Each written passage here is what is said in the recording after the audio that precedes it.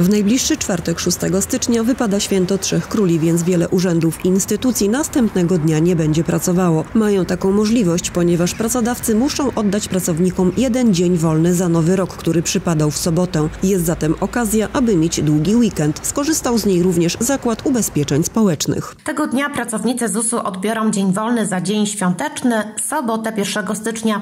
Do dyspozycji klientów będzie natomiast platforma usług elektronicznych ZUS oraz infolinia bonu turystycznego pod numerem telefonu 22 11 22 111.